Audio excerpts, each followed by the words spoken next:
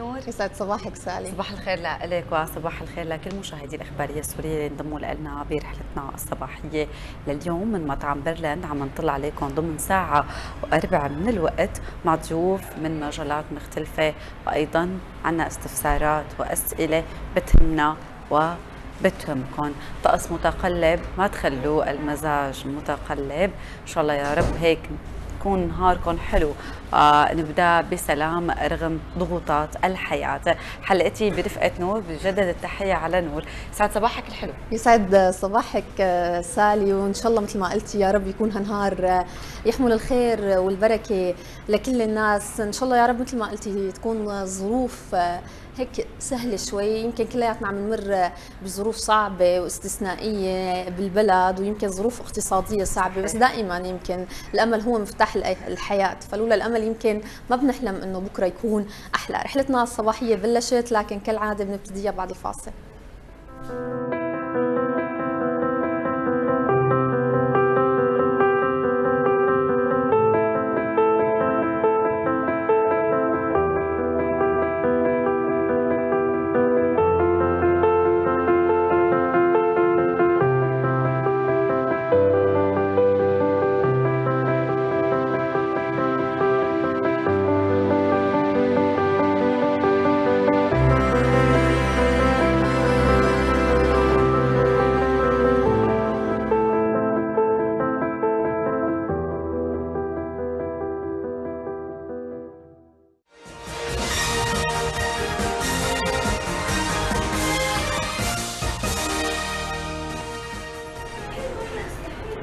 يعني أولى محطاتنا لليوم نور رح نبدأها بجولة عبر الزمن رح نقلب برزنامة التاريخ ونتذكر شو أهم الأحداث يلي سجلت مثل هاليوم.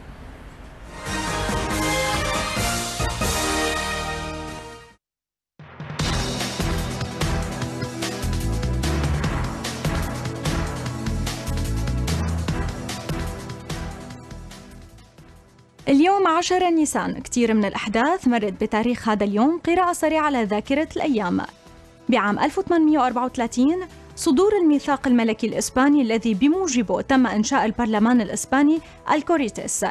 بعام 1941 القوات الألمانية بقيادة المشير إيرفين رومل تنجح بالاستيلاء على مدينة سيرت الليبية وتطرد القوات البريطانية منها. بعام 1970 المغني بول ماكارتني يعلن عن انفصاله عن فرقة البيتلز. بعام 2019 تلسكوب أفق الحدث يكشف عن أول صورة مباشرة لثقب أسود والثقب الأسود فائق الكتلة M87 ومن الشخصيات اللي أبصرت النور بمثل هاليوم من العام 1887 برنارد هوساي عالم فيزيولوجيا أرجنتيني حاصل على جائزة نوبل بالطب عام 1947 ومن الشخصيات اللي غيبها الموت عن عالمنا بمثل هاليوم من العام 1931 جبران خليل جبران كاتب لبناني وأحد شعراء المهجر. بعام 2020 الفنان الكبير عبد الرحمن أبو القاسم ممثل سوري من أصل فلسطيني. هي أبرز الأحداث اللي صارت بمثل هاليوم 10 نيسان نهاركم سعيد.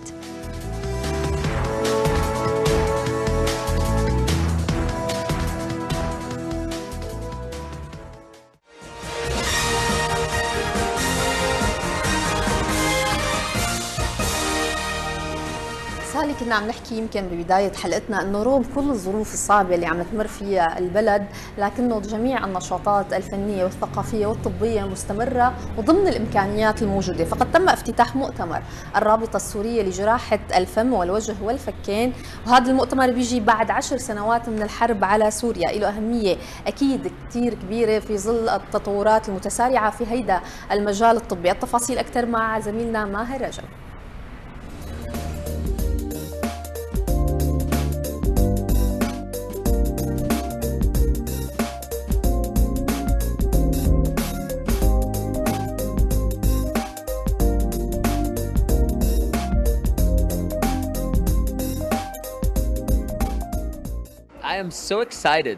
أنا مسرور جدا ولي الشرف الكبير بالحضور هنا ولتقديم هذه الدعوة لي للحضور إلى سوريا. الحقيقة أنا متحمس جدا لنشر ومشاركة المعلومات من من الدول المختلفة وبين الجامعات المختلفة. والحقيقة أنه نحن متقاربين مع سوريا بالحضارة والتقاليد. So close to mine because we are from Mediterranean. بالنسبة لأهمية المؤتمرات العلمية اللي عم نحدثها نحن وحدثت بجميع الفروع بسوريا. آه هو إيصال رسالة للعالم كله اللي أراد تدمير هذا البلد عن طريق تدمير العقول تدمير الحجر تدمير كل شيء في هالبلد.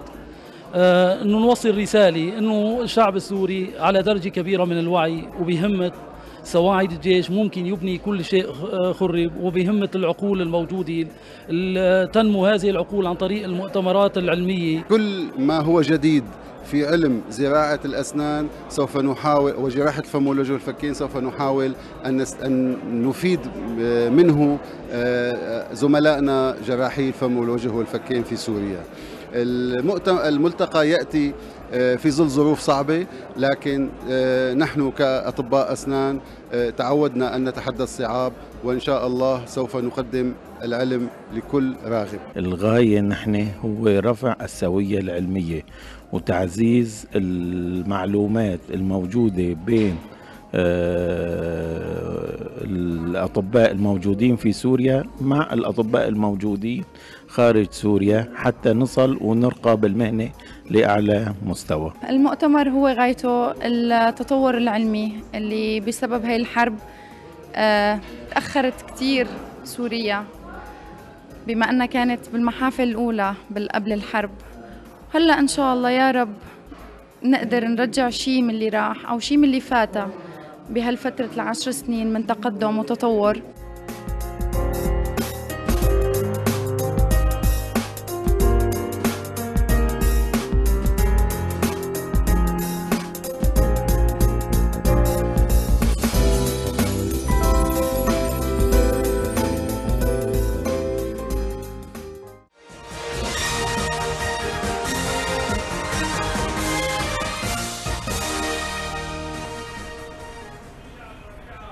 بداية فقراتنا لليوم رح نبدأها أيضا بمساحتنا الطبية. خلينا نقول ورح نسلط فيها الضوء على البحث والإنجاز العلمي وملتقى الرابطة السورية الجراحي للفم والوجه والفكين الذي عقد في دمشق. وأيضا كان له أهمية في ظل التطورات المتسارعة في مجال الجراحة. لتسليط الضوء أكثر عن هذا الملتقى بسرنا نرحب بالدكتور مازن زيناتي نائب رئيس رابطة جراحة الفم والوجه والفكين في سوريا. صباح الخير دكتور. صباح الخير. أهلا وسهلا فيكم. صباح الخير دكتور. قبل ما نحكي دكتور يمكن عن الملتقى والمشاركين فيه كنا عم نحكي مع حضرتك تحت الهواء إنه رغم كل ظروف الحرب اللي مرت على سوريا وصعوبات يمكن كتير كبيرة وصعوبات اقتصادية لأنه فعل الملتقيات أساسا بتكلف والمؤتمرات يعني مكلفة أساسا ماديا ما توقف البحث العلمي والملتقيات. أنتم كدكاترة ما بتوقفوا شغل يعني يعطيكم ألف عافية. ونوجه تحية كمان لكل الدكاترة اللي هلأ كمان جنود مجهولين بظل جائحة كورونا. هيدا الشيء قديش في دفع كبير لإقامة هيك ملتقى. عم نحكي عن 500 مشارك وأكثر لإستمرار البحث العلمي اليوم. طبعا هلا الطبيب بصوره عامة وطبيب الأسنان إذا توقف عن تلقي التعليم المستمر آه، بيتجمد لأنه العلم متسارع المواد السنية المختلفة متسارعة الإنتاج والتطور فيها وبالتالي طرق استعمالها وتطبيقها الطرق المختلفه للإجراءات الجراحية الطرق التجميليه كله بتسارع آه، شديد على مستوى العالم. صحيح. فبالتالي إذا طبيب الأسنان بده يتخرج ويضل واقف بمكانه لن يس- يستمر ولن يجاري العالم اطلاقا. لذلك يعني دائما الحرص والإعجاز بسوريا على أنه كل الازمه خلال عشر سنين وإلى الآن لن ولن تتوقف النشاطات الطبية والتعليمية. صحيح. ضل العلم مستمر ضلت الملتقيات والمؤتمرات والندوات العلمية مستمرة. وضل في شغف عند طبيب الأسنان السوري خلينا نحكي لتلقي العلم يعني في ظل كل الظروف الصعبة نحن الآن هذا ملتقانا قد يكون من أصعب الظروف اللي بتمر على سوريا. صحيح. ومع ذلك لقينا الاندفاع والإقبال الهائل بالمشاركة.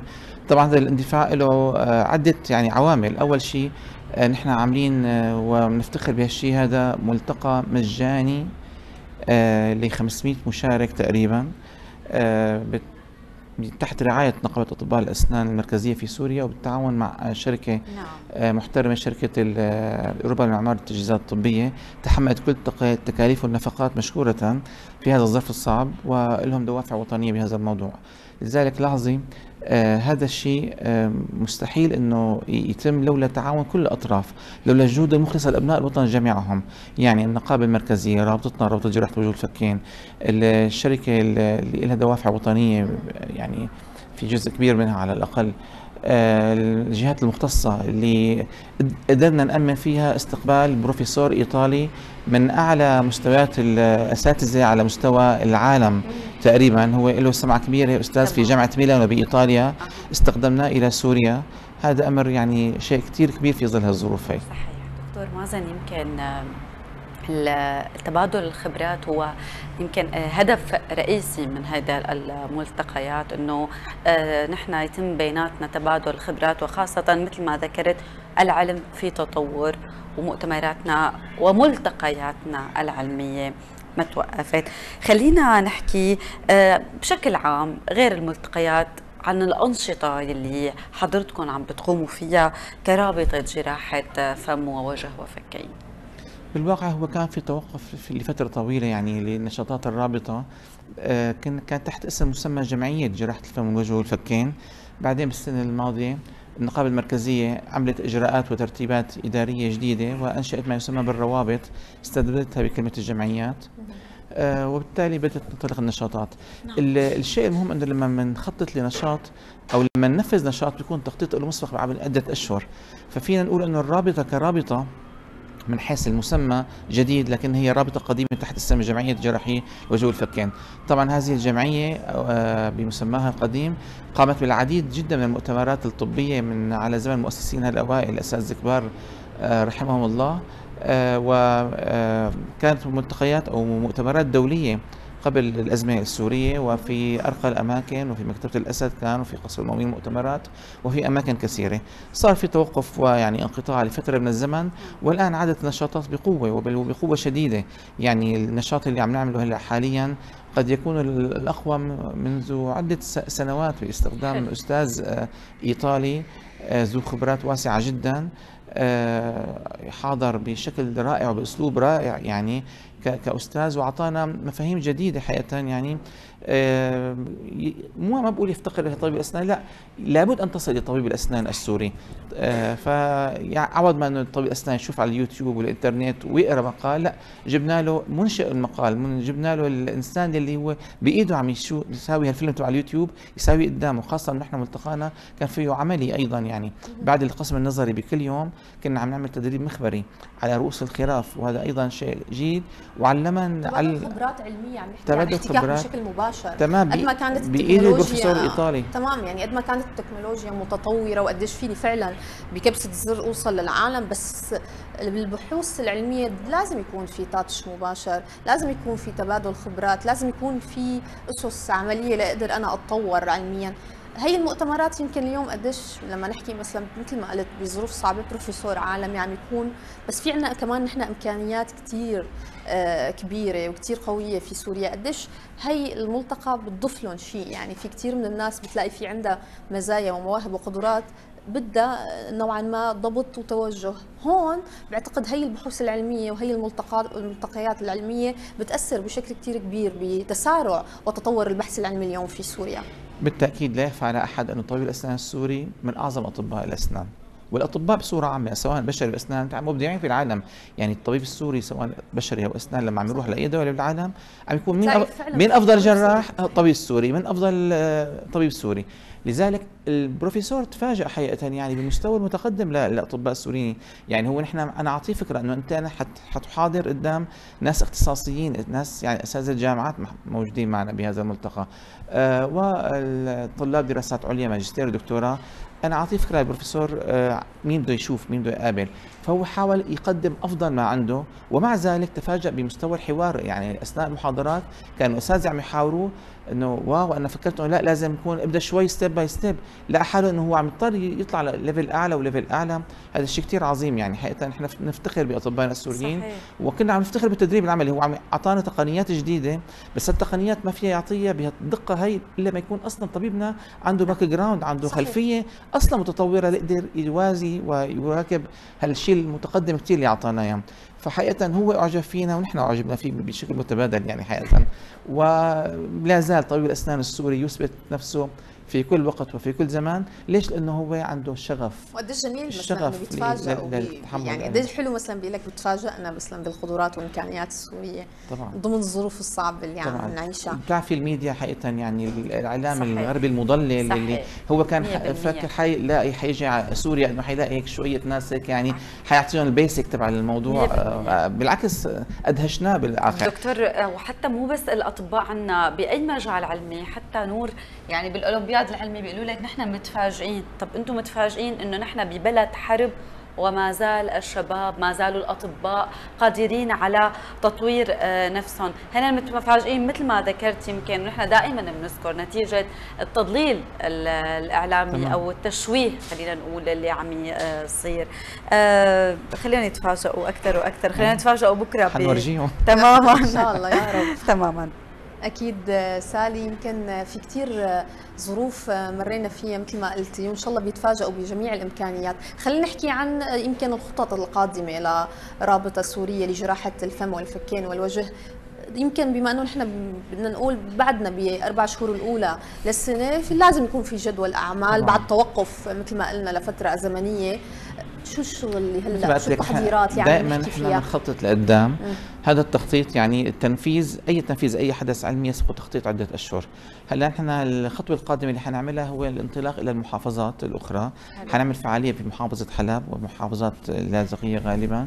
آه، مخططين لها على بهذا العام على الأقل. وأيضا حتكون على مستوى راقي وعلمي وعم نحاول كمان أيضا نستخدم آه، أساتذة أجانب من سمعات عالية بالتعاون مع شركات آه، طبية. بتصور شركة ربع المعمار حقيقة أعطتنا هالأدفانتج هلأ حاليا وقدمت لنا صعوبات لما يكون في بروفيسور أجنبي يكون معكم مشترك؟ قديش؟ لأنه نحن في حصار. يعني وعلينا عقوبات وعم يحاولوا. إذا فيهم يعصروا عليك النفس وياخذوه ما عندهم مشكلة أكيد. فقديش في صعوبات آه، عم تواجهوها اليوم صعوبات جمة؟ بالواقع يعني والإجراءات الإدارية معقدة جدا ما في مو مجال نحكيها هلأ هون لكن حقيقه نحن إصرارنا على النجاح وإصرارنا على تحقيق الهدف هو اللي عم يخلينا إنه نمشي بطريق مترقي والى الأمام آه، تماما لو بدنا نستسلم مجرد ما إنه يقولوا لنا لا خلص لا مع السلامة لا ما. نحن وقت يقولوا لنا لا بيزيدنا إصرار وبيزيدنا عزيمة إنه لا لازم جيبه وشو شو العقبات؟ كذا كذا. أنا بذللها لحد ما إنه نوصل ونقدم الفائدة لمجتمعنا. برد بقول لك يعني هي الجهود المخلصة لأبناء الوطن هي اللي بترتقي بالوطن. آه يعني سوريا ظلت عشر سنين آه صامدة رغم كل شيء ونحن بس مصامدين ومترقين يعني. ما ما عم نقف بمكاننا عم نكون باتجاه الأعلى. ولاحظي يعني من سنتين كمان عملنا مؤتمر دولي آه آه، السنة اللي بعدها عملنا نشاط هلأ نشاط وهكذا دائما باتجاه الأعلى ما بيسنينا شيء ابدا عن التقدم إن شاء الله بالمجال العلمي على الأقل. إن شاء الله يا رب ومثل ما قلت دكتور هيك بنشوف سوريا كلها والأطباء السوريين بأرقى المحافل لأنه بيستاهلوا يكونوا بهدول الأمكنة، يمكن حكمتنا ظروف معينة، ظروف حرب قاسية مرت على آه، سوريا. والأطباء أكيد هلأ يعني يمكن خط الدفاع الأول فينا نعتبرهم جنود أيضا عم بيقاتلوا، فينا نعتبر بظل هذا الوباء، يعني كمان قديش مهم آه، مثل ما ذكرت آه، الإصرار، العزيمة. وأيضا بنشوف الطبيب السوري يعني اللي بقيان متشبث هون وعم يحاول يقدم أقصى ما عنده آه، ببلده ليفيد بلده. وعم نشوف أيضا طلاب إنه عم يقولوا نحن درسنا وتعلمنا ممكن نحن نطلع لبرا ولكن نحن راجعين لهون لنقدم عملنا هون. بالتأكيد يعني هو مرجوع أي يعني مرجوعنا لهي البلد. شئنا ام ابينا يعني. أكيد. وحتى لما الإنسان قد يمر بلحظات ضعف أو يفكر إلى آخره بس بيلاقي هون جذوره هون هالشجر هالياسمين هكذا يعني مستحيل الواحد آه، يتخلى عن كل شيء في لظل أزمة عابرة وحتكون عابرة بالتأكيد الله. اللي بيأكد هالحكي هذا هو اندفاع طلابنا. نحن قلت لك الملتقى كان مجاني فأنا كيف عملت طريقة الاشتراك؟ عملت رابط إلكتروني. وانتقينا يعني بوفق أسس ومعايير. أنه مين بدهم يحضروا هذا الملتقى؟ تفاجئنا انه عندنا طلاب سنة خامسة من جامعات سوريا المختلفه من دمشق من حلب من حما من وحتى من الجامعات الخاصة. عندهم إقبال واندفاع هائل لحضور هذا الم- الملتقى اللي هو يعتبر يعني آه، متقدم شوي إنه على مستوى ليفل آه، طلاب رابعة وخامسة. مع ذلك ما كسرنا بخاطر آه، أخذنا المتفوقين من هدول الطلاب وخليناهم يحضروا ويشوفوا ويشوفوا إنه يعني ضمن بلدك فيك تعمل شيء. آه هذا شيء كتير مهم. آه، طالب الرابعة طالب السنة الخامسة اللي هو حيتخرج قريبا إنه يعرف شو الإمكانيات اللي فيه يمارسها ضمن بلده. مو شرط إنك تطلع لبرا لتقدر تقدم. لا جوات بلدك فيك تتعلم فينا نجيب لك العلم اللي عندك وفيك تضل وفيك تقدم. هذا شغلة كثير مهم آه، كان في آه، فينا نقول ظروف صعبة في تفجيرات في استهداف إرهابي لمناطق عديدة آه، يمكن طالت جميع الأراضي السورية. كان في إصابات يمكن كمان هون نحكي عنها قوية. كان في تعامل مع إصابات بمجال الجراحة والفكين والوجه صعبة نوعا ما يعني بعتقد يمكن هون كان في خبرة علمية كتير عالية. طبعا هلا أنت نقلتيني لموضوع ثاني هلا هذا الحديث طويل بالتأكيد المشافي المختصة. عن- إيه طبعا إيه هلا إيه المنطقة تمام. هذا بيفيد إيه نوعا تمام ما هي بالاخير هي حلقات مترابطة أكيد تمام. طبعا هلا نحن نحن رابطة جراحة الفم والوجه والفكين تضم هي بوتقة. تحت مظلة نقابة أطباء الأسنان المركزية تضم جراحي الوجه والفكين المنتشرين في أماكن عملهم مختلفة. مثلا أنا كأستاذ جامعي في جامعة دمشق في كلية طب الأسنان عندنا مشفى جراحة الفم والوجه والفكين آه وأنا تشرفت برئاسة هذا القسم لفترة من الزمن في في في بداية الازمه من 2011 ل 2015 فكنا عم نقوم بعمليات جراحية ذات تكاليف هائلة مجانا طبعا أها. مجانا ضمن مشفى جراحة الفم والوجه والفكين متعاونين أيضا مع آه قسم جراحة الوجه والفكين المتميز في مشفى المواساة. آه، في مشفى المجتهد في مشفى ابن النفيس في مشافي وزارة الصحة في مشافي وزارة الدفاع تشرين 601 وإلى آخره تمام. والمنتشره في كل انحاء ال- الوطن آه، لذلك الجراحين الوجه والفكين فعلا يعني تحملوا عبء كبير خاصة في بدايات لما كان عندنا الحرب أزمة هي أزمة حرب وانفجارات وإلى آخره. لا اعادها الله يعني هذه. الذكريات. لكن كان الأطباء وجراحين الفكين يقوموا بدورهم ال- الوطني وواجبهم حقيقه يعني بتخدير من من قبل المراكز الطبية آه، يلي بتأشرف عليها وزارة التعليم العالي وزاره الصحة وزاره الدفاع. آه، أنجزنا عدد كبير وهائل من العمليات الجراحية وكل هذا موثق. آه، ساهمنا بإعادة تأهيل من أصيبوا بهذه العمليات الجراحية وعودتهم إلى المجتمع من أول وجديد. وعندنا أبحاث توثق هذا الموضوع والآن حاليا في جامعة دمشق في بحث ماجستير يوثق هذه المرحلة يوثق الإصابات اللي صارت وطريقة التعامل معها ويتابع الآن المصابين سابقا شو صار هلا فيهم حاليا وكيف تم إعادة التأهيل لهم.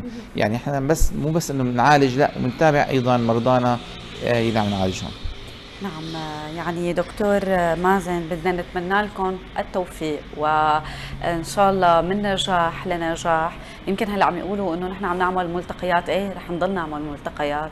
ومستمرين. نحن ما في الحياة ما رح توقف لا عند حرب ولا عند شيء. أكيد ظروف صعبة عم نمر فيها ولكن مسيرة العلم لازم لأنه بالعلم تبنى الأوطان. شكرا كثير لوجودك معنا دكتور. شكرا لكم أهلا وسهلا فيكم. شكرا, شكرا لك دكتور. تحية مثل ما قلنا ببداية حديثنا لكل الأطباء السوريين اللي عم يبذلوا جهود جبارة اليوم في ظل جائحة كورونا العالمية. أما هلأ سالي ننتقل لمادتنا. التالية يمكن مع اقتراب شهر رمضان المبارك إن شاء الله ينعاد على كل الناس بالخير والبركة. بدأت ملامح نوعا ما الطقوس الرمضانية بدمشق والمحافظات السورية. بدمشق كان في فعالية أهلا رمضان وثقتها كاميرا الإخبارية السورية مع زميلتنا زينب عاقل والتفاصيل.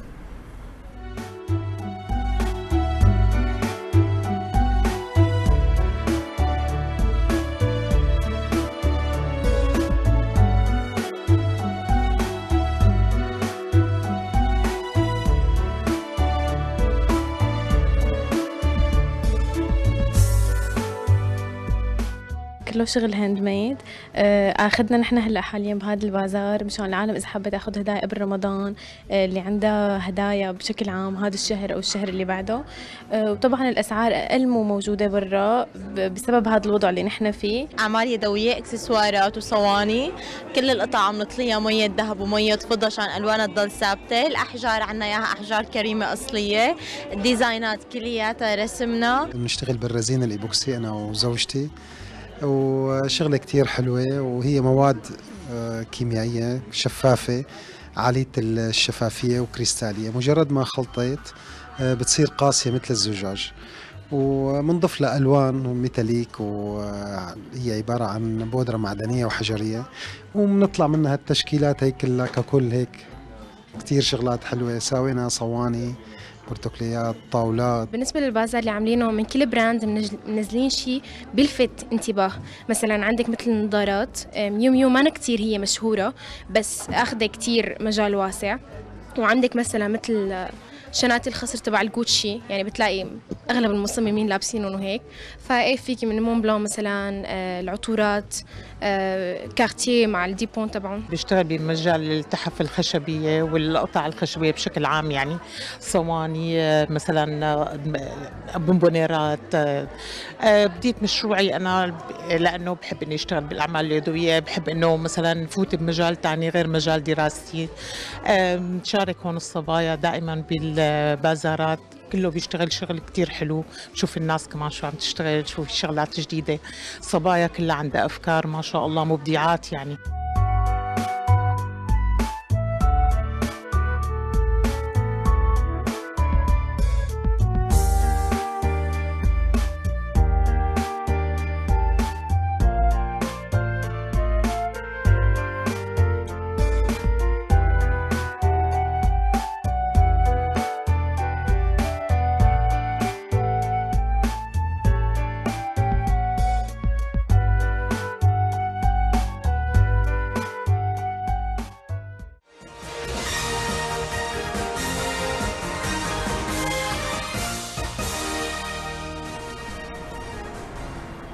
يعني بعد هالتقرير يلي كان أكيد أقاموه ببازار فندق الفور سيزون آه رح نحكي بشكل موسع عن بازار أهلا رمضان. صرنا نرحب بضيفتنا السيدة نانسي عجلاني. كيفك نانسي؟ يا هلا صباح الخير. أهلا وسهلا فيكي شو أخبارك؟ ماشي الحال تمام. يسعد صباحك. وكل سنة وأنتم سالمين يسعد صباحك. والبركة يا رب وعلى كل الناس. إن شاء الله, إن شاء الله. يا, يا رب. رب. هيك يكون هيدا آخر رمضان في وجع على كل الناس لو بنقدر يمكن إن شاء الله يا رب. خلينا بالبداية كنا عم نحكي تحت الهواء. نحكي عن البازار. قبل ما نحكي مثل التفاصيل وفي كثير بازارات تقام وفعاليات ونشاطات عندنا يمكن ظروف اقتصادية جدا صعبة. آه، في كثير من البازارات بتكون أسعارها معقولة في بازارات أسعارها تكون غير مناسبة أساسا لذوي الدخل المحدود. ولما نقول الفور سيزون بيقولوا لك هي للطبقة المخملية نوعا ما موجه هيدا البازار. خلينا نحكي كنت عم تقولي لي لا. قديش خلينا دائما يعني من وقت ما بلشت يعني تقريبا صار لها القصة من عشر سنين دائما بحاول أي فعالية أعملها. أي حدا يجي ما يطلع غير مبسوط ومشتري. وأموره تمام ما يحس إنه والله في مثلا شيء غالي أو شيء رخيص. لا هلأ في مثلا ما بحكيكي ما في شيء رخيص هلأ بهالوقت طبعا. إيه، بس هلأ مثلا في الأعمال اليدوية هي بشكل عام يعني معروفة إنه هي بتجي شوي غالية لأنه هي تكاليفها غالية.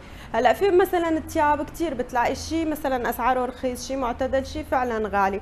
يعني بصير هذا كل مين هو بالنهايه السوق كل مين بيروح بيلاقي اللي بيناسبه. في لكل الشرائح هذا تمام هذا الهدف. تبعي دائما بيكون مثلا بتلاقي للأطفال بتلاقي رجالي بتلاقي نسواني بتلاقي مثلا للستات الكبار أسعار متفاوتة. في مثلا أعمال يدوية كثير حلوة وكثير مميزة ما حتلاقيها أكيد بالسوق ابدا. فهذا الشيء دائما يعني هذا هدفنا الأساسي من البازار. حلو. نانسي أهلا. رمضان يمكن آه، نحن مقبلين على شهر البركة والخير وأيضا الرحمة.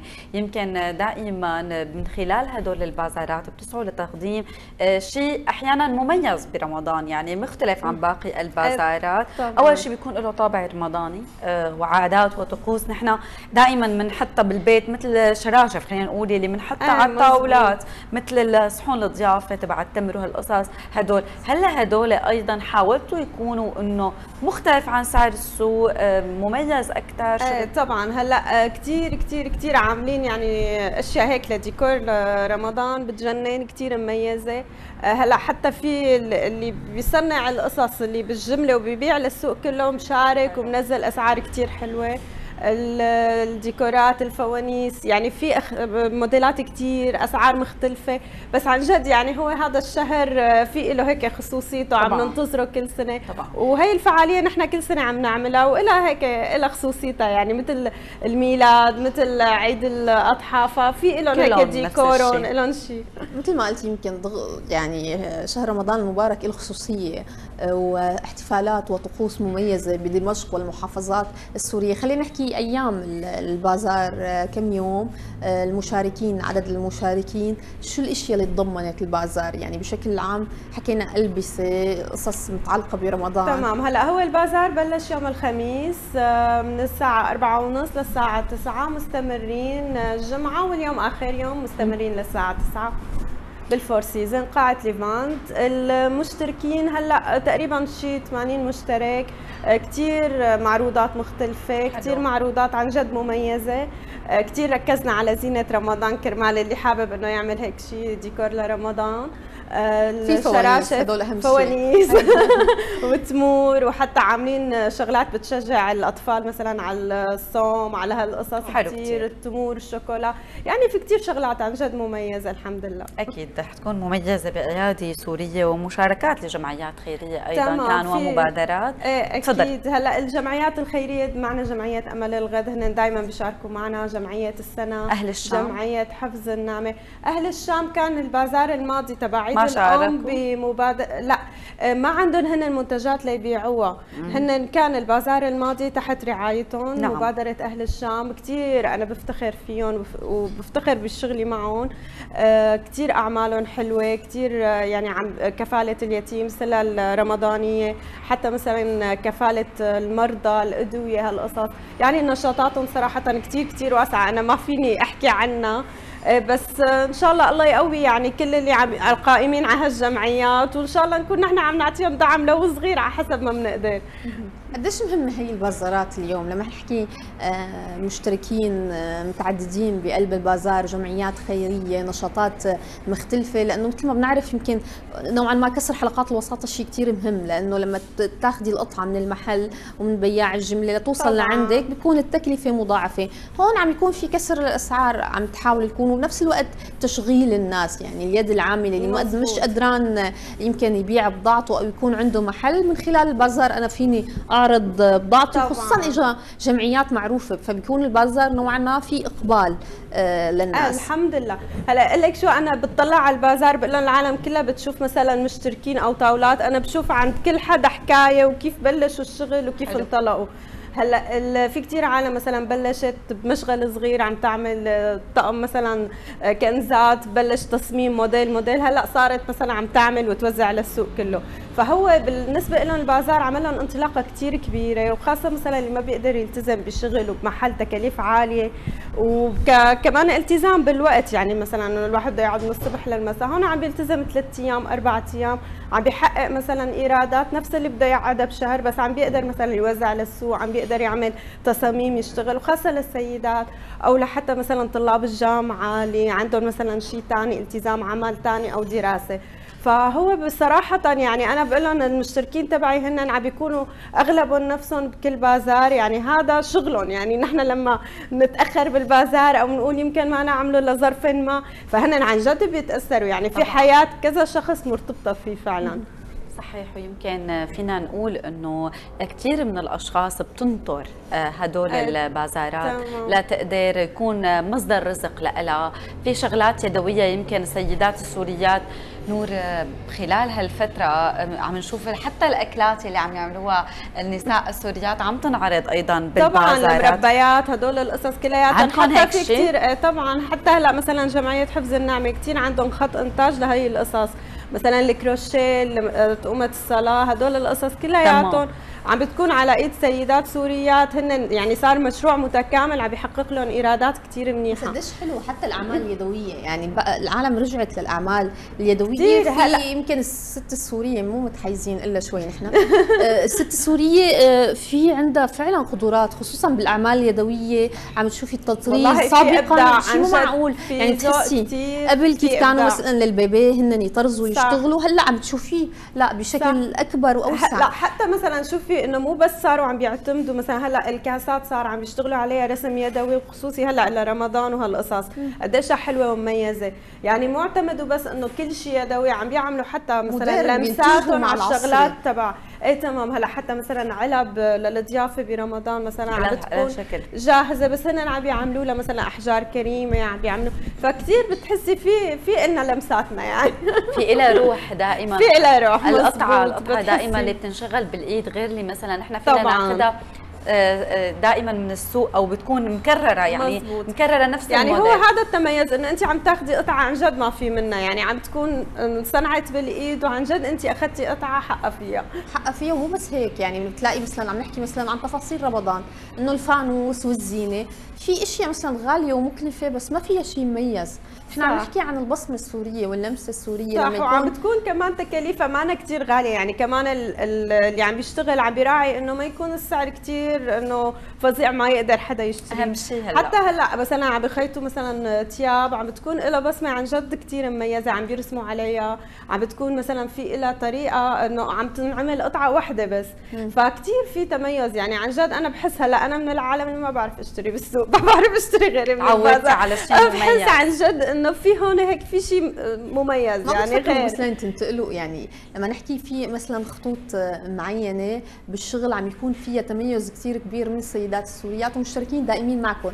ما تفكروا تطلعوا برات مش بدمشق عم نحكي سوريا لأنه هي مكلفة يمكن نوعا ما وفي إيه، في مشاكل بس أحيانا بتحسي في تواصل مع المغتربين بتلاقي دائما بدوروا على الشيء السوري. والله كثير كثير قالوا لي يعني وخاصة إنه الحمد لله إنه صار لي مثلا بهالمجال فترة فبيقولوا لي ما تعملي هون إنه بس بدك تدرسيها كتكلفة سفر كتكلفة مثلا أكيد ما حيطلع معك كل هالعدد أكيد ما حي يعني في كثير لها صعوبة شوي يعني إن شاء الله بركي إذا تحسنت الأحوال أكثر أكيد نحن بنعمل هيك ان شاء الله يا رب. إن شاء الله يا رب نانسي توصلوا لكل شيء بدكم اياه إن شاء الله. وبدنا نتمنى لكم التوفيق والصحة لنقدر نحن لسه نقدم أكثر إن شاء الله. وننتج أكثر تحية لكل المشاركين وتحية خاصة للنساء يلي هن سوريات يلي هن ما عندهم معيد ويمكن بيعتمدوا على شغلهم وتعبهم وجهدهم لأنه آه، يطلعوا شيء حلو. بنتشكرك نانسي إن شاء الله. شكرا كثير لكم شكرا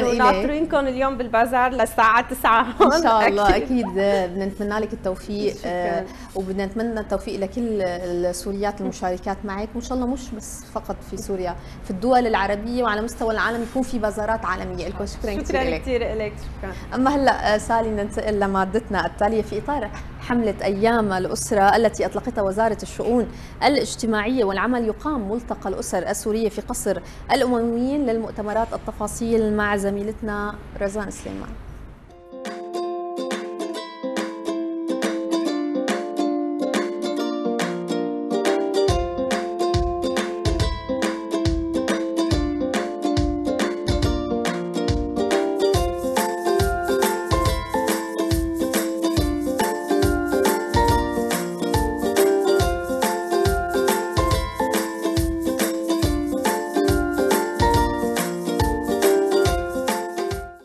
الأسر السورية الأول آه، هو نظمته عدة جمعيات ومؤسسات آه، عاملة بسوريا. آه، من ضمنها جمعية ياسمين الشام مجلس الشباب السوري مؤسسة إنانا. جمعية الأجيكي سوريا هيئة معرف رام السرياني وجمعية التنمية المستدامة. إضافة لمشاركة عدة جمعيات ومؤسسات أخرى الملتقى هذا بيهدف بيستهدف للأسرة السورية. نحن عم نلقي الضوء على قصص نجاح للأسر السورية إضافة لتكريم بعض بعض الأسر الناجحة وعرض منتجات هي الأسر اللي هي من من أي من ولا شيء قدرت تعمل شيء وقدرت تحقق آه، سبيل استدامة لحياتها. نحن عم نشجع العوائل إنه هي تبلش تستثمر بالأمور البسيطة الصغيرة اللي هي موجودة عندها بالإضافة لذلك إنه هي نحن نفتح لهم أقنية خلينا نسميها هي الأقنية هي تكون أقنية تسويقية أقنية قانونية بالإضافة لحتى يكون في عندنا شيء من الأقنية المالية لحتى هن يقدروا يدعموا مشاريعهم أو حتى يقدروا يستثمروا أكثر يكبروا أكثر بهي المشاريع اللي هن عم يشتغلوا فيها. شاركت بالأمانة السورية عملت دورات. آه، بفضل مدربتي طبعا صرت أعمل آه، أشتغل بالشمع بالمشغولة الإكسسوارات اليدوية. المشروع أنه باختصار آه، مواد غذائية منزلية إنه كل شيء شغل بلدي من مكدوس من مواد غذائية يعني كلها مجففة يعني. دعيت على هذا البازار لحتى نشارك بالمنتجات اللي أنا عم بشتغلها هلا أنا فكرتي ومشروعي هو إني أنا شيف آه، فبقى حابب إني أطور هذا المشروع. مثل ما إنك شايفة عندك هون المنتجات اللي مشتغلين كوكيز مشتغلين معجنات. عندي مواد مونة نشتغلها. وطبعا هذا الشغل كلياته منزلي آه، حتى على مبدأ مثلا أي حدا بيطلب منا نحن طلبات خارجية آه، مستعدين إن نحن نلبي له إياها كاملة. أنا مشارك عبارة عن منتجات مطعمة بالصدف والقصدير. هي مهنة آه، دمشقية بحتة وتراثية يعني مهنة من 400 500 سنة تقريبا.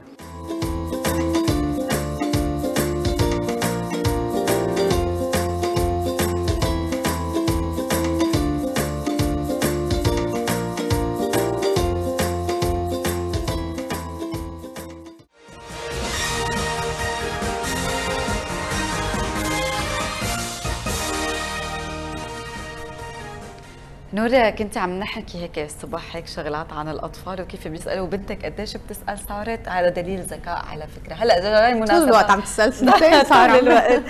تمام. يعني دائما الطفل بده يستفسر عن كل شيء واحيانا الأهل بدهم يدوروا شو بدهم يلاقوا له جواب يقدر هيك يقنعوه في مثل هلأ المناسبات اللي رح نمر فيها. ماما شو ليش نحن اليوم هيك عاملين؟ ليش تأخرنا اليوم بالأكل؟ بعد شهر رمضان لا تسالك ليش تأخرتوا بالأكل؟ فبيعيش الأطفال معنا بالمنزل. تفاصيل حياة يومية واستثنائية أحيانا بتكون تكون المناسبات جديدة عليهم أو أول مرة بيمروا فيها أول عيد أول صيام. تمام؟ هدول القصص كلها بتكون موقع تساؤل للطفل عن ماهية المناسبة.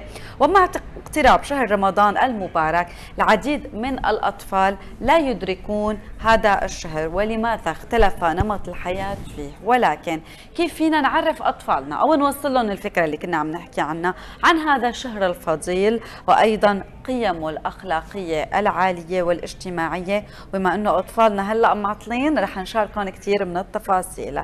بهالشهر أيضا ورح نتعرف عن هذا الموضوع كله مع الأخصائية الاجتماعية.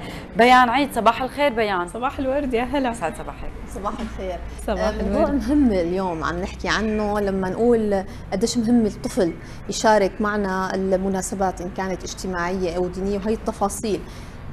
كيف فيني أنا بلش مع الطفل مهد له؟ لأنه في كثير يمكن أهالي بسبب ضغوطات العمل بسبب صح. الحياة اليومية بسبب الظروف الصعبه بتلاقيه ما كثير بيكون مهيئ الطفل أو مبلش معه تدريجيا. أنا كيف فيني بلش شوي شوي مشان ما يحس حاله مثلا إنه في شيء غريب عم يصير؟ أحيانا في أطفال بتلاقي في بيصير عندهم صدمات ما بيعرفوا شو عم يصير عم يحاولوا يفهموا نوعا ما. تمام. أهم فكرة هلأ أنت ذكرتيها إنه نحن لازم نهيئ الطفل لأي شيء هو مقبل عليه. يعني على مستوى زيارة أنت بدك تروحيها يفترض إنه أنت تهيئي الطفل إنه أنا هلأ رايحة لهذا المشوار أنا وياك. رايحين على المول مثلا رايحين على مشوار ليش؟ لأنه الأطفال إذا تغير الروتين أو تغيرت البيئة اللي هن موجودين فيها بفوتوا بمود خلينا نقول الصراخ والبكاء الفجائي أو بيتعكروا أو بتحسي الطفل اكتئب وقعد قدام مامته ما عاد يقدر يتحرك. هون الطفل بيكون ماله مهيئ للموقف اللي هو مقبل عليه. فما بالك بمناسبات نحن بدنا نقبل عليها وهلأ لسه مناسبة طويلة. يعني مناسبة شهر لا يوم ولا يومين. قديش مهم نحن اليوم إنه نطلع الطفل على هذا الشيء. بالإضافة لشيء معين إنه نحن آه لما بنكون عم نبلش نعلم الطفل هذا الشيء نحن عم نغني ثقافته. صحيح. يعني نحن عم نحرض فتيل الأسئلة عنده.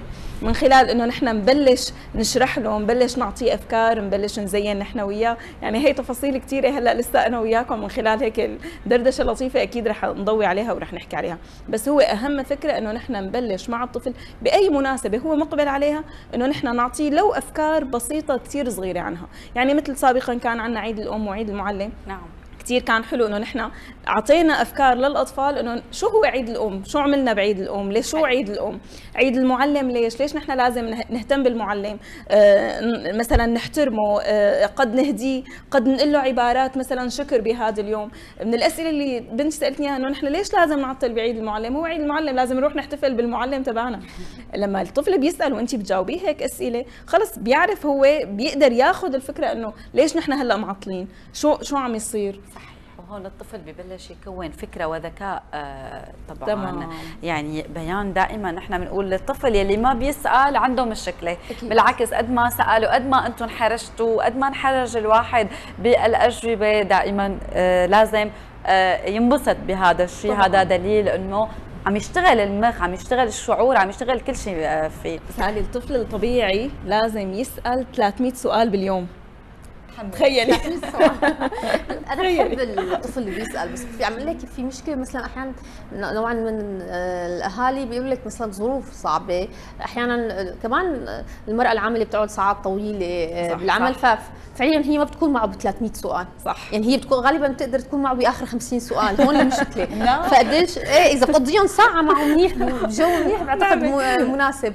قديش هي فعلا بتاثر يمكن على تفاصيل الطفل؟ يعني أنا لما شاركه اليوم بعتقد بمناسبه اجتماعية هذا الشيء بيخليه عنده ثقة بنفسه طبعا. زيادة بيبني له ذاته لما نحكي طبعا. عن السنين الأولى من سنتين لست سنوات لما هو بتاخذيه بتقولي له أنت بدك تشاركني جيب هدية مثلا للماما مشان بصير هو العيد الجاي عم فكر يجيب لك هدية.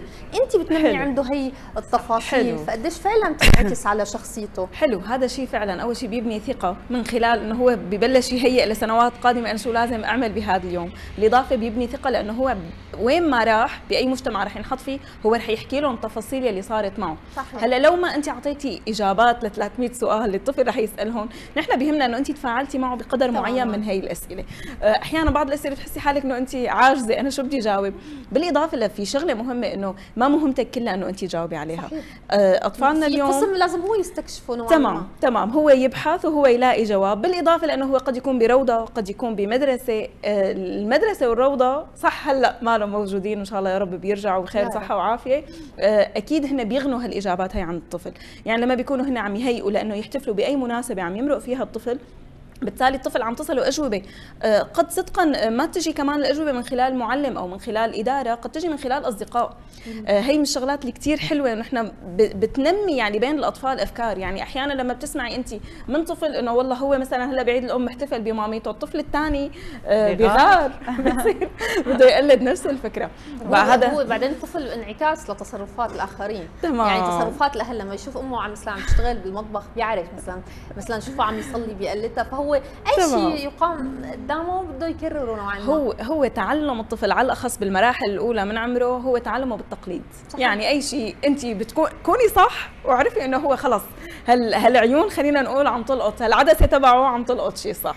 جد الولد آه، كثير ناقل يعني دغري بيلقط لأنه بيكون خام يعني. تمام. فما في شيء معكره عم يراقب أمه.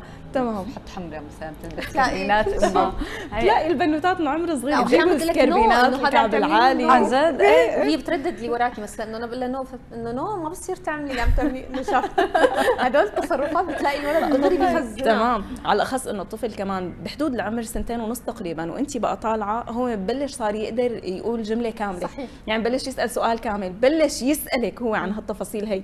يعني هلأ نحن مقبلين على رمضان ليش انت ما عم تاكلي؟ بده يبلش يسألك مثلا. قاعد يشرحي له. تمام. بدنا نشرح والله. يعني بيان يمكن من هالحديث بدنا نستنتج بأي عمر نحن. بنقدر آه نقدم آه أفكار للطفل نهيئ الطفل تمام. مو ضروري ياخذ الطفل الشغلات أكيد. من برا لأنه أحيانا أكيد. الأم بتكون ما لها خلق خلينا نقول وكثير من الأمهات أحيانا بتحكمهم ظروف ما بدنا نقول آه كل أم طبعا. هي خلينا نقول مجرد ما هي ولدت وربت فهي أم ما ضروري أكيد. إنه تكون 100% معه أكيد. دائما في ظروف بتحكم فقديش مهم أيضا نخصص وقت معين وبعمر معين ما ياخذ الطفل من الروضة الأفكار تبعه تمام تمام نحن بحدود عمر سنتين ونص مثل ما هلا ذكرت متى ما بلش الطفل. اعطاكي سؤال كامل. آه انت هون بدك تبلشي بقى تشرحي للطفل بدك تبلشي تهيئي للطفل. طبعا تختلف الأفكار اللي نحن بدنا نقدمها للأطفال. يعني الأطفال اللي عمره اليوم 8 سنين أكيد ما حيكون جوابه نفسي أنا رح أعطيه للسنتين ونص. بس بالنهاية انت مهمتك تقدمي أجوبة مقنعة. يعني مثلا أنت ليش ما عم تاكلي هلأ؟ والله لأنه مو جاي على بالي آكل. لا هي هي أنا من الشغلات اللي كثير بسمعها إنه هي بدها تخلص من الجواب هي بتعطي جواب غير منطقي. بس الطفل ذكي جدا. آه تمام مالي جوعان الطفل الطفل ذكي جدا والطفل مقلد جدا مثل ما كنا عم نحكي يعني إذا أنت ما أكلتي هو رح يقلدك هو ما رح ياكل. بقى مهم نحن حتى من عمر صغير مهم نحن نشاركه بهالأفكار هي نشاركه ب قد يكون نشاركه بزينة رمضان من عمر صغير لحتى يقدر بس شوي توصل له الفكرة. لحتى يقدر يستوعبها. بالعمر الأكبر بقى قد انت تشاركيه بفكرة إنه أنت مثلا ممكن تصوم مثلا صيام الأطفال مثلا مثل ما كنا نقول صيام العصافير للظهر مثلا لاذان الظهر وبعد منها بقى الكبار بيضلوا مثلا للمغرب. يعني هي الأفكار لما انت بتشاركيها مع أطفالك بحسوا إنه أنا صرت كبير أنا صرت مثل ماما أنتم عم تصوموا وأنا مثلا عم صوم. هي من الشغلات اللي كثير الأطفال بيتأثروا فيها. يمكن مثل ما قلتي بعد سن السنتين يعني بثلاث سنين فيك تخليه يشارك معك. كل هي التفاصيل لأنه بنشوف نحن مثلا من الطقوس شهر رمضان المبارك والمحببه عنا لما كنا أطفال هي الزينة لشهر رمضان. تمام. في كثير من الناس الفانوس له رمزية. صح. بتلاقي بيحطوا أولادهم بيصنعوا فانوس معهم وبيعلقوه بيقول لك هيدا الفانوس تبعي بدي احطه على الطاولة بيحطوا جنبه. فهي التفاصيل كمان بتلعب دور بشكل كثير كبير. يمكن مثل ما قلنا الضغوطات والظروف وما في أخلاق بس يمكن نص ساعة يعني ساعة في كثير لوم بيكون على الأهل بسبب ظروف الحياة ولأنه أمرأة عاملة أكيد. ولأنه دائما المحيط بيلعب دور سلبي بشكل كثير كبير. صح. بس بعتقد هي ساعة. المسها مع طفلك. صح. تعطيه طاقة وحب وتشاركيه زينة رمضان. تشاركي رسمة الفانوس. تقولي له هذا أحلى فانوس بشوفه وبعلقه وباخده. هي التفاصيل بتلعب دور في بناء شخصية الطفل اليوم. لما لما بيصنع الطفل هو هذا الشيء بإيده. أي عمل فني إن شاء الله لو تكون رسمة بسيطة. إذا رسم رسمة مسجد مثلا عبر عنها هلأ عن رمضان وأنت علقتي له إياها قديش أنت عززتي عززتي شخصيته؟ أي حدا بيجي شوف ماما مثلا شو شو علقت لي. قد أنت تصوري له اياها وتقولي له أنا مثلا رح ابعثها هي الصورة لتيتي رح ابعثها لحدا. شوفوا مثلا هذا الطفل شو شو رسم. آه على الأخص هلأ جاينا شهر رمضان مثلا بالمكان اللي بتعرفوا حالكم أنتم بدكم تاكلوا فيه. آه خليهم يعملوا هيك أفكار بسيطة زينة بسيطة رسمات حلوة. كمان نفس الفكرة هن يعلقوها بالمكان اللي نحن بناكل فيه. آه يعبروا فيها شو شعورهم هن تجاه هذا الشهر أو شو الأفكار اللي هن فهموها تجاه هذا الشهر. هلا في كثير خطط نحن خلينا نقول بنمشيها حسب أعمار الأطفال لما نحن بنفوت على شهر رمضان. صحيح. يعني أول شيء نحن بنبلش هي فرصة لأنه نحن نعرف الطفل شو هن الأشهر القمرية. صحيح. كثير من الأطفال بيعرفوا الأشهر الميلادية بيعرفوا إنه كيف مثلا ناجي الأشهر الميلادية. بس هلا نحن حلو نعرفهم الأشهر القمرية أكيد. نعرفهم إنه هي ناجية نتيجة دوران القمر مثلا حول الأرض. هي من الشغلات اللي لازم نحن نعطيهم إياها. نعطيهم مثلا نحن هلأ بشهر شعبان نحن حنجي على شهر رمضان. نعطيهم مثلا فكرة استغلال المناسبات بطريقة صحيحة. منيحه تمام. نعطيهم فكرة مثلا مراحل القمر مراحل تطور القمر أو دورة حياة القمر بنسميها. هي من الشغلات اللي أنا يعني كل رمضان كل رمضان رمضان الماضي كان حجر كورونا. آه، استغليته بشكل كتير كبير إنه أنا علمت بناتي هالفكرة هي. يعني جبنا من خلال البسكويت الأسود اللي عليه كريمة بيضة صنعنا نحن مراحل حلو. تطور القمر.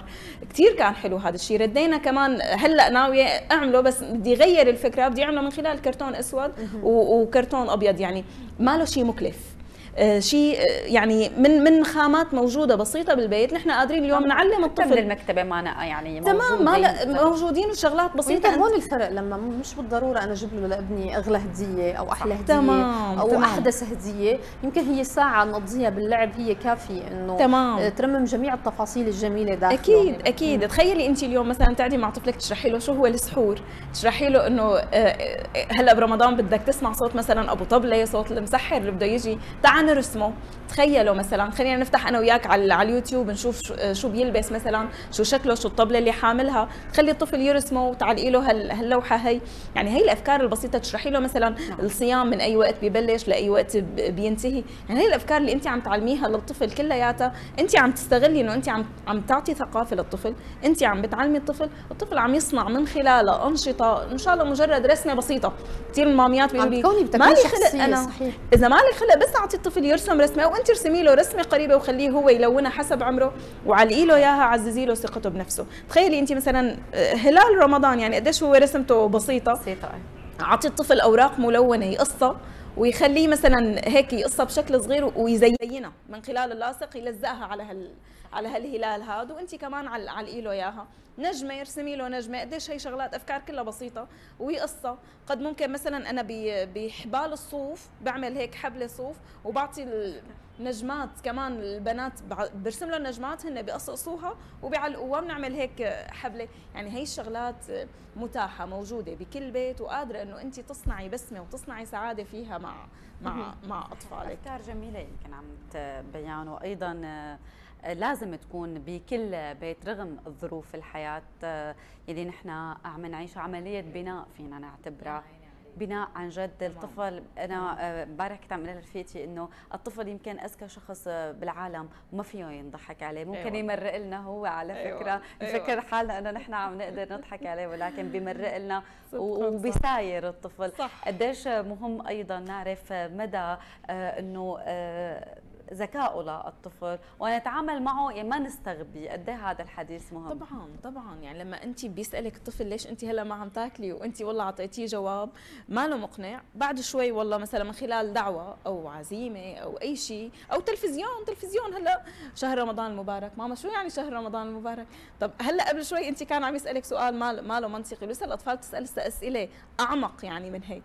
بقى اذا نحن هيك تعاملنا إنه هذا الكائن مثلا كثير بنشوفه استخفاف يعني بعقول الطفل. آه، إنه ما آه، شو معه معه بيعرف. بكرة بيكبر وبيتعلم. هي من الشغلات اللي كثير نتعرض له إنه بكرة بيكبر وبيتعلم. خليه يتعلم من عندك يتعلم من المنبع الصح. متى ما أخذ هون أفكار صح بأي فكرة.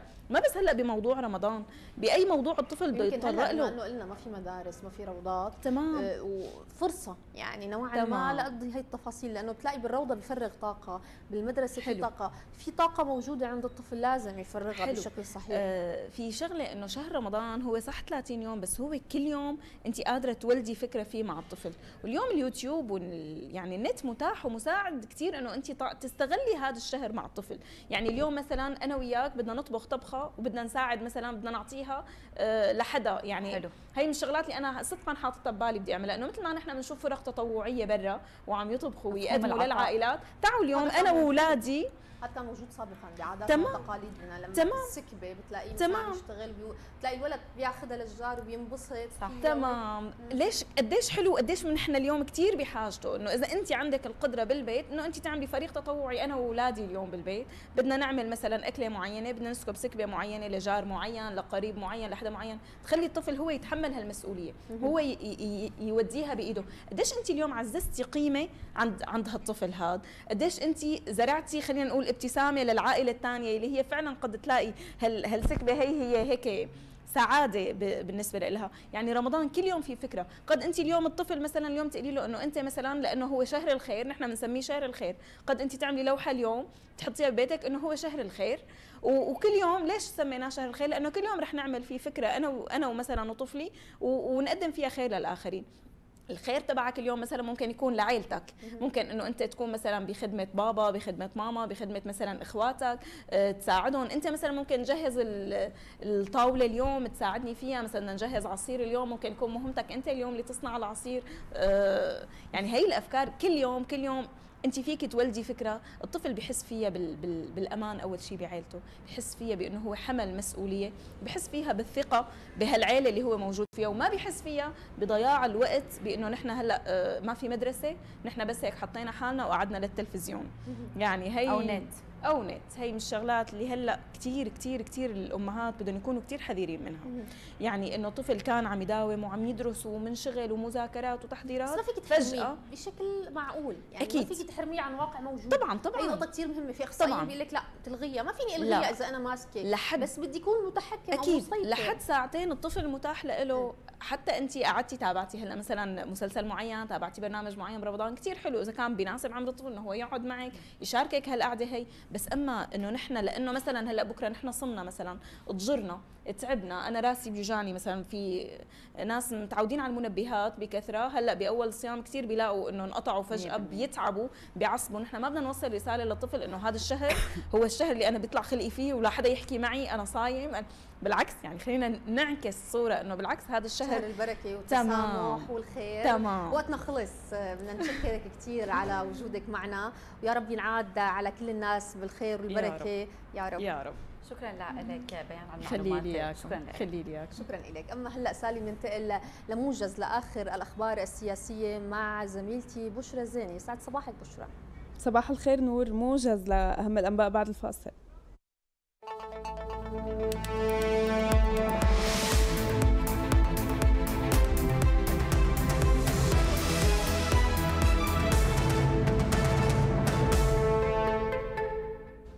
السلام عليكم. أصيب عدد من مسلحي ميليشيا قسد في هجوم استهدف أحد مقارها في بلدة لشحيل بريف دير الزور. وقالت مصادر محلية أن مسلحين يستقلون دراجات نارية استهدفوا بالأسلحة الرشاشة مقرا لميليشيا قسد أنشأته بمدرسة الشبكة في بلدة لشحيل. ما أدى إلى وقوع إصابات في صفوف الميليشيا التي استقدمت على الفور تعزيزات عسكرية إلى المنطقة. أدانت الخارجية اللبنانية بأشد العبارات الاعتداء الجوي الذي نفذه العدو الإسرائيلي على محيط دمشق مؤخرا. وشددت وزارة الخارجية اللبنانية على أنها ترفض استخدام الأجواء اللبنانية لاستهداف السيادة السورية. اعتقلت قوات الاحتلال الإسرائيلي سبعة فلسطينيين في مناطق متفرقة بالضفة الغربية. وذكرت مصادر فلسطينية أن قوات الاحتلال اقتحمت مدينة جنين وبلدات بيت سحور في بيت لحم وبورين في نابلس ودورة في الخليل واعتقلت سبعة فلسطينيين. أكد ممثل روسيا الدائم لدى المؤسسات الدولية ميخائيل أوليانوف أن روسيا والصين تصران على الرفع الإلزامي للعقوبات الأمريكية ضد إيران. وقال أوليانوف إن الوفد الروسي في فيينا قدم مقترحات حول عمل مجموعة الخبراء. ووزع وثيقة حدد فيها وجهة نظر موسكو لما يجب على إيران القيام به من أجل العودة بشكل كامل إلى الاتفاق النووي. موضحا أن الجانبين الروسي والصيني أصرا على أن ترفع الولايات المتحدة العقوبات المفروضة. ختام الموجز عودة إلى صباح نغير. شكرا لك بشرى. اما هلا مشاهدينا بننتقل لفقرتنا الأخيرة برحلتنا الصباحية. اليوم يعني نور وصلنا لفقرة مع بداية هيك فصل الربيع. بتبلش السيدات إنه تهتم بزرعاتهم شرفات المنازل خصيصا نباتات الزينة. ولكن لهيدي النباتات خصوصية معينة. إحيانا بكون عندها ظروف مناخية معينة بتعيش فيها. لنتعرف آه، أيضا عن هدول التفاصيل وعن النباتات اللي موجودة عندنا اللي كثير بنشوفها على هيك شرفات السيدات بصرنا نرحب بالمهندسة الزراعية فيروز إبراهيم. لتعطينا هيك تفاصيل عن أيضا طريقة زراعة هي النباتات. صباح الخير. صباح الخير صباح الخير جميعا. آه، طبعا فصل الصيف بأجواءه الحارة وبأجواءه بعد الظهر اللطيفة بيحتاج إنه دائما نحن نطلع خارج البيت ونقعد بجنايننا أو نقعد على شرفاتنا. آه، نشوف ونستمتع بالوردات اللي نحن زرعناهم نعم. خصوصا لما نكون نحن عم نزرعهم بإيدنا بنحبهم أكثر. الدمشقيه دائما موجودة تمام نحن متعودين عندنا ثقافة الزراعة وثقافة اللون الأخضر. فهو جزء منا يعني وجزء من نفسيتنا وبيعملنا رياحة نفسية وتشكل لوني حلو وجميل جدا خصوصا لما بيكون في تنوع بالألوان وتنوع بالنباتات. خلينا نحكي عن النباتات. هلا في كثير اختلاف قديش مثلا بتعيش هي النباتات وأي نباتات هي الأكثر موجودة اليوم. النباتات الصيفية والربيعية والنباتات الشتوية. أنو المحبب اليوم بتلاقي عند السيدة؟ ويمكن اللي بيعيش لفترة طويلة أكثر. هلا النباتات قسمين في نباتات معمرة هي بتت يعني بتعيش أكثر من عام سنة ورا سنة بتبقى مرافقة لل لأي ظروف جوية مثلا بتضل متناسبة مع ظروف الصيف أو ظروف الشتوية. وفي عندنا النباتات اللي بتكون هي أساسا نباتات حولية يعني بتعيش بموسم واحد سواء الموسم الصيفي أو سواء الموسم الشتوي. هي طبعا بتعيش تقريبا من أربع شهور لست شهور وبالكثير لثمان شهور. وهي النباتات نحن إذا حبينا مثلا نجددها أو نستفيد منها في الموسم القادم ننتهي بعد ما بتنتهي موسم الإزهار تبعها بناخذ بذورها وبنحتفظ فيهم. ممكن نحن نزرعهم في الموسم القادم لنحافظ عليها لهي النباتات. يعني مو دائما نحن لازم نروح على المشتل ونشتري. فينا نحن إنه النباتات بتكون موجودة عندنا نستغل وجودها وموسم إزهارها. طبعا لما تكون الإزهار ملقحة بواسطة النحل أو بواسطة الرياح أو غير شيء يعني خصوصا اللي عم نحكي عليها هي النباتات اللي بتعيش برا البيت اللي بتكون على الشرفات أو بتكون على البرندات. هي ممكن ناخذ منها بذور ونزرعهم في الموسم القادم. فمثل ما أن النباتات ممكن تكون معمرة وممكن تكون موسمية ترافق الموسم اللي نحن عايشين فيه. نعم حلو كثير خلينا نبلش نحن بالنباتات المعمرة يلي نحن دائما بنشوفها على البلكون عند العالم بيقرنا هيك بيدخلها أيضا الشمس بتتعرض للهواء واحيانا بتتعرض للمطر وما بيصير لها شيء. مثل شو هن مثلا عندنا ورد الفل هذا من النباتات المعمرة بس نحن اليوم رح نركز أكثر يعني على النباتات الحولية. النباتات اللي بترافقنا بفترة الصيف هي النباتات أول شيء لازم نعرف طالما إنها نباتات صيفية فهي بحاجة إلى أماكن مضاءه يعني تاخذ أشعة أشعة ضوئية أو تكون متعرضة للضوء فترة طويلة بدون ما تتعرض لأشعة الشمس المباشرة مشان اذيه الشمس خصوصا بالأشهر الحارة جدا. بس في نباتات معمرة نحن بنحافظ عليها مثل ما قلت لك نبات الفل في عندنا نباتات ثانية مثلا ورقيات معينة نباتات عطرية مثلا مثل نبات العطرة كمان هي من اللي بتناسبنا أو اللي بترافقنا مواسم عدة. النباتات الصيفية اليوم اللي أنا اخترت لكم إياها مشان نحكي عليها تمام. هلا في عندنا نبات اللي نحن بنحسه أقرب إلى السوريين دائما هو نبات السجاد. نحن نبات السجاد في له أصناف كثيره جدا والناحية الجمالية فيه هو عبارة عن الأوراق. يعني الزهور أقل جمالا من شكل الأوراق. في عندنا نباتات السجاد يعني سواء اللي نحن بنعرفها وشائع منظرها وفي عندنا نباتات أصناف جديدة ممكن عن طريق شراء البذور من محلات بيع البذور أو نشوفها بالمشاتل ونقتنيها ونشوفها. تماما. يعني دائما السيده تماما السيده يكون عندها زريعة صغيرة. تمام إذا درنا بالنا كثير عليه منيح للنبات السجاد ممكن يبقى عندنا شوي بالشتوية لكن بده ظروف خاصة انه لأنه حساس جدا للصقيع. فبدنا نحطه دائما بأماكن دافية. أما هو الأفضل إنه نحن نزرعه كل موسم بموسمه عن طريق البذور. هلا إذا حبينا مثلا نبات السجاد إنه نحن عندنا نبتة وحابين نشتري منها أو يكون عندنا كذا نبتة منها بإمكاننا نحن نكاثره بواسطة العقل بنقطف عقله منها بننزع الأوراق وبننتبه إنه نحافظ على البراعم ونخليها حتى تجزر بكاسة مي أو ممكن مباشرة نحن نشكل التربة ونحصل منها على نباتات جديدة. هي طريقة بالإكسار هي اسمها طريقة التفصيص. في عندنا نبات ثاني حلو جدا كمان هو نبات عرف الديك. طبعا عرف الديك في منه نوعين. عرف الديك اللي نحن بنعرفه وهو يعني ألوانه شوي محدودة ما كثير بنعرف إلا اللون البنفسجي منه.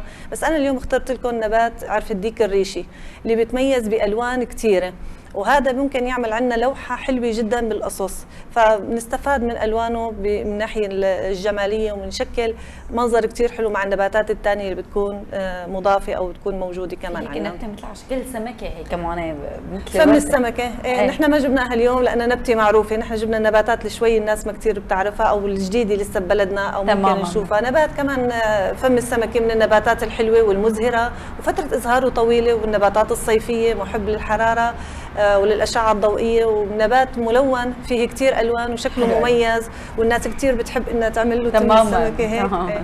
فهو من النباتات المحببة وكمان من النباتات اللي بترافقنا من, من أيام أمهاتنا ونحن هلأ ببيوتنا عم نزرعها وخصوصا بجناينا أو بالقصص تبعنا. في عندنا نبات كمان كثير حلو هو نبات البيغونيا. أنا جبت نبات البيغونيا عدة صور حتى نشوف قديش في عندنا تلون جميل سواء بالأوراق أو سواء بالأزهار. تمام. في عندنا نبات البيغونيا اللي ممكن يكون جماله بأوراقه أوراق ملونة وأوراق آه، سادة ومزخرفة وعدة أشكال. وفي عندنا النباتات اللي كمان موجود منها نبات البيغونيا اللي بيعطي أزهار أزهار جميلة. في عندنا اللون البرتقالي اللي بيعطي كثير منظر حلو خصوصا مع اللون الأخضر للأوراق. في عندنا نبات لونه ابيض في منه اللون الأحمر وفي منه عدة أصناف. البيغونيا بتحوي على أصناف عديدة جدا من النباتات اللي جميلة جدا وموجودة بالبيوت وإكثارها سهل جدا. يعني مجرد إن نحن نزرع بواسطة العقل فبتطلع بسرعة. ما بتشكل أي مشكله مثلا إنه آه، صعب التجزير أو غير ذلك. آه، في عندنا كمان آه، نبات اللي هو نبات مزهر اسمه الجازانيا. هذا نبات كتير كتير حلو وفترة إزهاره طويلة ومتعدد الألوان وزهرته حلوة جدا وبيفرح القلب لما الواحد بيشوفه بألوانه المتعددة. طبعا نحن بإمكاننا نزرع عدة نباتات من الجازانيا جنب بعض وهي النباتات بتكون متعددة الألوان كل زهرة لون فبتعطي عنا تشكل كتير حلو. وبإمكاننا كمان نزرعها أو نكاسرها عن طريق البذور ممكن ناخذها من الموسم السابق أو عن طريق العقل اللي ممكن نزرعها ونحطها بقصص جديدة ونحصل على نباتات نباتات جديدة. جديدة. يعني تقريبا هدول النباتات حبيت جيبهم أنا وحبيت نجيب الصور حتى نتعرف على النباتات الصيفية اللي ممكن ترافقنا خلال فترة الصيف وتعطينا شكل حلو للبرندات تبعنا. كيفية الاعتناء فيهم إذا بنحكي؟ يمكن أحيانا في كثير يمكن تصرفات خاطئة مع الاعتناء بالنبات بنخسر النبتة واساسا هي ما بتدوم طويلا. فبعض الأسس الأساسية لحافظ أنا على النبتة الصيفية هلا اهم شيء نحن لما بدنا نشتري النبتة مثلا من المشتل لازم ننتبه إنه النبتة اللي نحن عم نشتريها انه كثير نبات إنه معافى ما في عليه حشرات ما في عليه أي أمراض اوراقه خضراء ما يكون فيه كثير أوراق صفراء. آه، بناخذ هذا النبات طبعا وبنحطه عندنا بقصص أكبر. ولازم نحن نختار قصص حلوة طالما عم نزين بيتنا وعم نجمل حديقتنا وشرفتنا في هلأ قصص كثير حلوة بالسوق وعم تباع يعني مختلفة عن القصص القديمة لها أشكال ولا زخرفات وحتى لها ألوان بتناسب لون أزهار النبتة تماما. فالمفروض انه نحن على على قصيص آه، أكبر شوي لأنه رح تعيش بفترة زمنية أطول من وجودها بالمشتل. آه، لازم تكون التربة خفيفة يعني والأفضل إنه نحط لها سماد عضوي بالإضافة للخلطة الترابية اللي لازم نزرعها فيها. آه، نضيف شوية رمل مع الخلطة الترابية. بنسبه ثلث مثلا ثلث الخلطة ثلث الخلطة ممكن تكون رمل ممكن تكون تربة وممكن تكون سماد عضوي بلدي مخمر. وأهم شيء لازم يكون مخمر مشان نحن نتلافى كل المشاكل اللي بيعملها السماد العضوي. آه بعدين منا لازم هي النبتة نعتني فيها آه خصوصا من ناحية الري. يعني طالما الأجواء رح تكون صيفية فلازم تكون عملية الري يعني على الأقل مرتين بالأسبوع. ولازم تكون عملية الري نحن عن طريق آه نجس النبات. يعني من ناحية إنه آه، نحن ممكن نلمس سطح التربة بعمق 2 سم ونشوف إذا حسينا بالرطوبة معناتها النبتة أخذت كفايتها من من من الماء نعم. نعم. وإلا لازم نضيف الماء مباشرة حلو آه، في شغلات كمان لازم ننتبه عليها كثير منيح لما بيكون عندنا أزهار خصوصا أحيانا أزهارنا بتكون غالية علينا لازم دائما نتخلص من الأزهار الزابلة لأنها بتسيء للمنظر. لازم نتخلص من الأوراق الصفراء. لازم ننتبه كثير منيح إنه نباتاتنا ما عليها أي حشرات ما عليها أي فطور ما عليها أي شيء آه، معرضة لضوء بقدر كافي وبصحتها وبجمالها.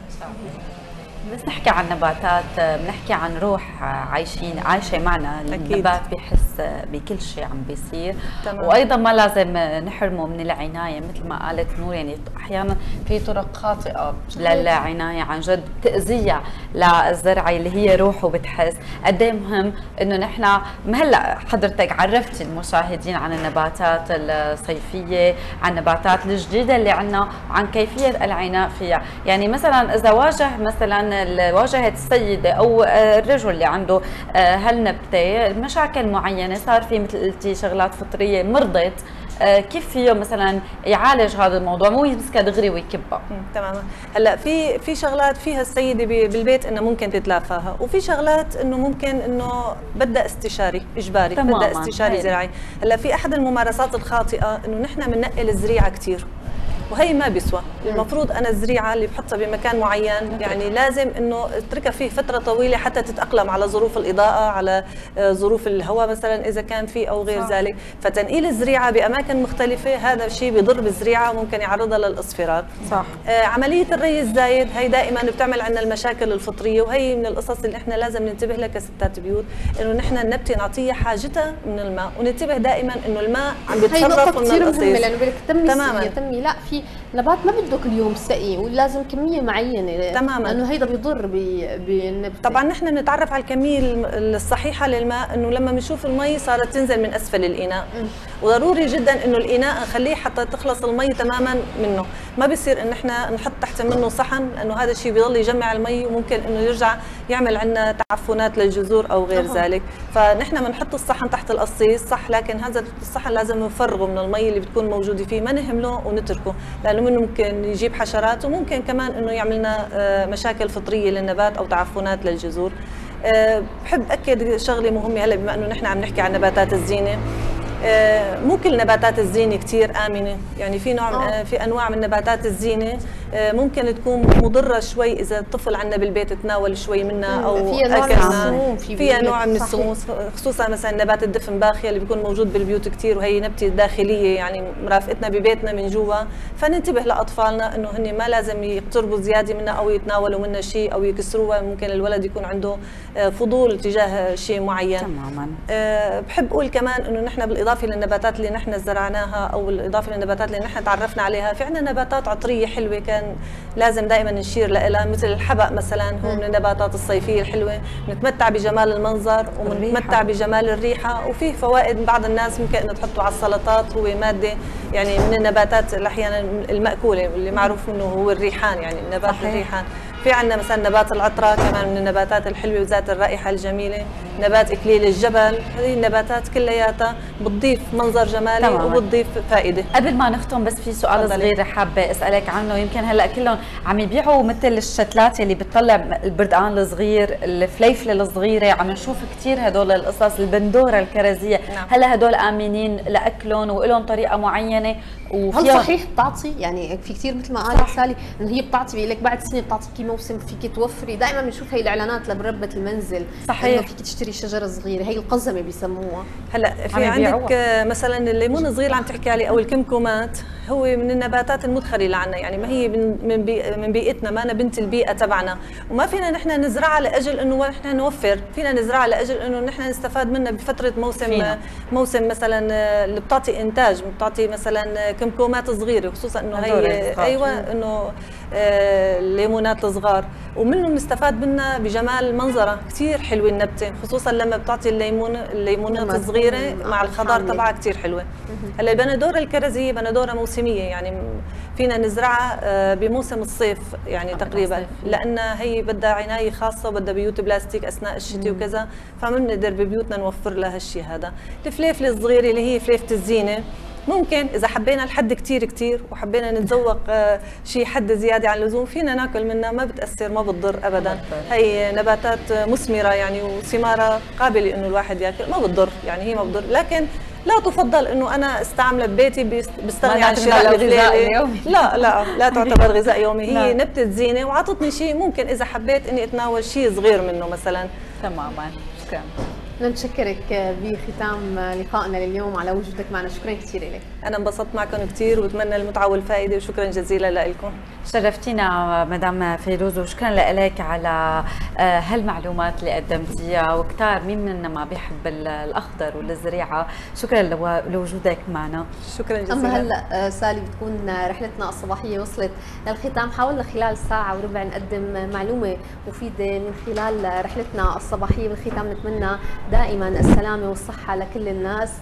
بدنا نقول إنه يمكن ظروف صعبة واستثنائية ومضطرين ننزل على الشغل بس مع أخذ الإجراءات الاحترازية والاحتياطات اللازمة للحفاظ على صحتنا وصحة أهالينا وأحبابنا. نعم نور حلقة كانت مميزة برفقتك وبرفقة ضيوفنا اللي كانوا من مجالات مختلفة. مشاهدينا بدنا نتمنى لكم بقية نهار خفيف العبء خفيف الظل رغم الضغوطات اللي نحن عم نعيشها مستمرين بالحياة ولكن بإيمان وصبر وقوة مثل ما متعودين قوة ما لازم تروح مننا. دائما الإنسان بيتكل على الله ويبدأ نهاره. إلى اللقاء. باي باي. Bye.